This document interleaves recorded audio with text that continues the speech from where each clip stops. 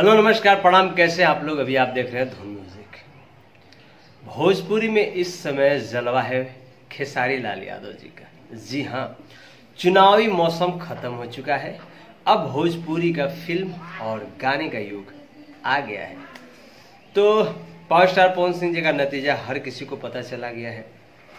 अब एक बार फिर से भोजपुरी फ़िल्म इंडस्ट्रीज़ की ओर रुख मोड़ती हुई सारे सितारे मुंबई पहुँच गए खेसारी लाल यादव का आज प्रीमियर हुआ है रंग दे बसंती भोजपुरी फ़िल्म, जो S R K film banner के तले आ रही है। जिस तरह से इसका प्रमोशन हो रहा है उससे अंदाज़ा लगाया जा सकता है कि बहुत ही बड़ी लेवल की और बहुत ही बड़े बजट की भोजपुरी फ़िल्म है। रंग दे बसंती की बात करें तो वो छत्तीसगढ़ एमपी यूपी झारखंड, बिहार, नेपाल, मुंबई, गुजरात जैसे कई बड़े बड़े राज्यों में, शहरों में प्रमोशन बहुत तेज़ी से हो रहा है। मुंबई के बहुत ही बड़े मॉल में रंग दे बसंती का आज प्रीमियर हुआ, जिसमें कि अवधेश मिश्रा, खेसारी लाल यादव और एस आर के म्यूज़िक के मालिक रोशन जी और उनकी वाइफ और सारा टीम भोजपुरी फ़िल्म के धासु एक्टर अभिनेता विलन कह लीजिए मल्टी स्टार कह लीजिए, अवधेश मिश्रा जी और खुद खेसारी लाल यादव के बेटे ऋषभ भी इस फ़िल्म को देखने के लिए आए थे। मीडिया की तमाम तदादें लगी हुई थी। एक से एक बड़े बड़े सेलिब्रिटी इसमें आए हुए थे, भोजपुरी इंडस्ट्री से, और भीड़ भी काफ़ी लगी थी। प्रीमियर देखने के बाद लोगों ने बताया और पोस्ट भी किया कि बहुत अच्छी फ़िल्म है और बहुत ही अच्छा बिज़नेस करेगी भोजपुरी फ़िल्म इंडस्ट्रीज़ के लिए। तो ये सबसे खुशखबरी है भोजपुरी इंडस्ट्री फ़िल्म के लिए कि अगर ये फ़िल्म अच्छी खबर लाती है, अच्छी बिज़नेस करती है अच्छा बिज़नेस करती है तो भोजपुरी फ़िल्म का ग्राफ और ऊपर बढ़ के जाएगा और होना भी चाहिए।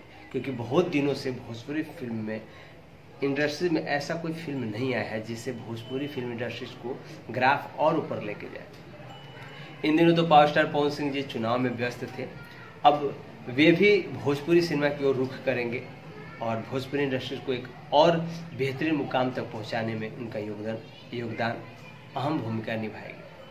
पावर स्टार पवन सिंह जी और खेसारी लाल यादव के बीच में जो भी पहले का गिला शिकवा था, वो सारे खत्म हो चुके हैं। अब मतलब टोटली फोकस है कि भोजपुरी फ़िल्म इंडस्ट्रीज़ को कैसे ग्रो किया जाए और कैसे बड़े प्लेटफॉर्म पे लाया जाए। और इसका प्रयास एस आर के फ़िल्म के मालिक रोशन जी का ये पहला कदम हो गया है रंगदे बसंती के माध्यम से। उन्होंने उन्होंने मुंबई में जो आज प्रीमियर शो रखा था उससे ये अंदाज़ा लगाया जा सकता है कि भोजपुरी अच्छे कगार पे चल रही है। खेसारी लाल यादव से प्रीमियर के दौरान ही प्रेस कॉन्फ्रेंस के माध्यम से ही पूछा गया कि पावर स्टार पवन सिंह जी का हारने का कारण क्या रहा है। तो खेसारी लाल यादव ने कहा कि वो बड़े भाई हैं, शेर है, दिलेर है और भोजपुरी के आन बान शान है। उनकी तरफ़ से जो भी कमी बेसी हुई होगी, उसे वो आगे ज़रूर पूरा करेंगे और हिम्मत नहीं हारना है, निराश नहीं होना इंसान को, निरंतर आगे बढ़ते रहना है।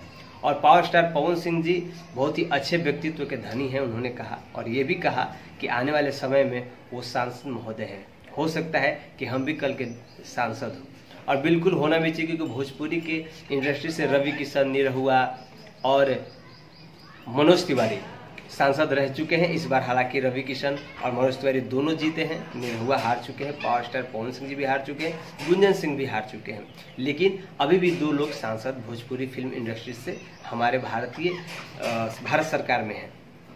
तो इस तरह का न्यूज़ देखने के लिए हमारे साथ बने रहे और ढेर सारा प्यार देते रहे। बहुत बहुत धन्यवाद।